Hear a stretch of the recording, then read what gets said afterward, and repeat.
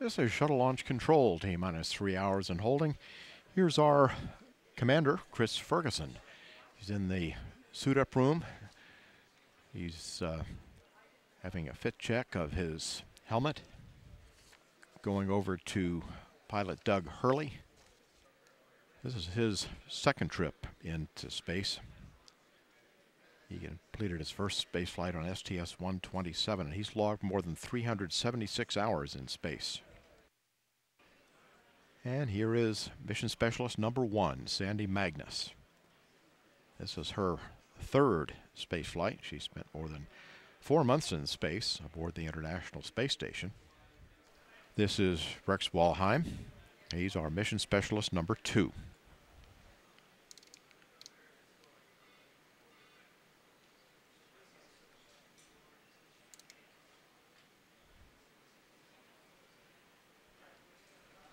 Crew going down the elevator where they'll be greeted by employees from Kennedy Space Center and members of the news media.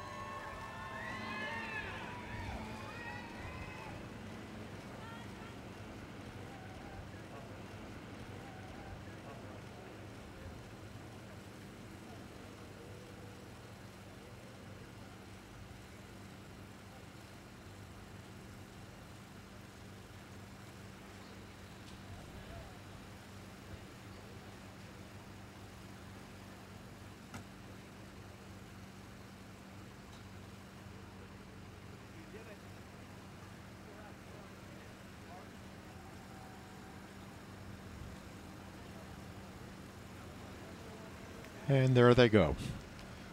Escorted by NASA security. Also be a helicopter flying overhead.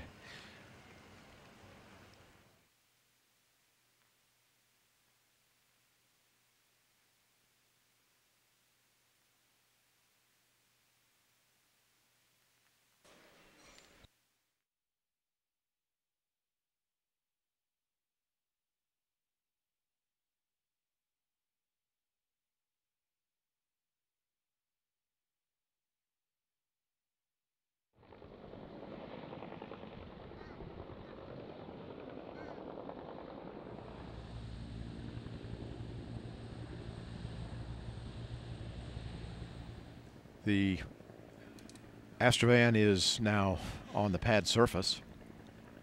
The uh, crew will be disembarking in just about five minutes. They'll be headed up to the White Room to begin boarding.